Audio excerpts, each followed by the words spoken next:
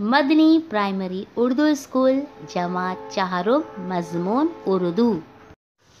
आज हम आपकी दरसी किताब में से एक नज़म पढ़ेंगे, जिसका उन्वान है एक घोड़ा और उसका साया। बगौर सुनिए और दोहराइए। एक घोड़ा था निहायत, ऐबदार, अपने साए से बेदकता। बार बार। उसे मालिक ने खफा होकर कहा, सुन तू अहमक जिससे तू है डर रहा। जिस्म का तेरे ही तो साया है वो, कुछ दरिंदा है ना चौपाया है वो।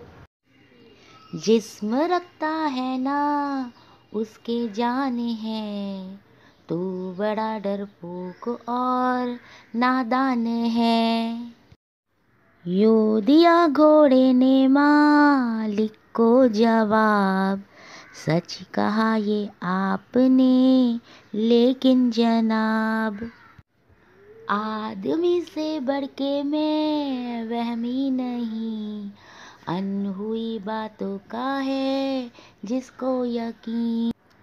भूत से डरना भी कोई बात है। क्या ही वहमी आदमी की जात है। साया तो आँखों से आता है नज़र। क्या अजब है जो हुआ मुझ पर असर। अपने दुख का कीजिए अव्वल इलाज। दूसरों का पूछिए पीछे मिजाज। शुक्रिया।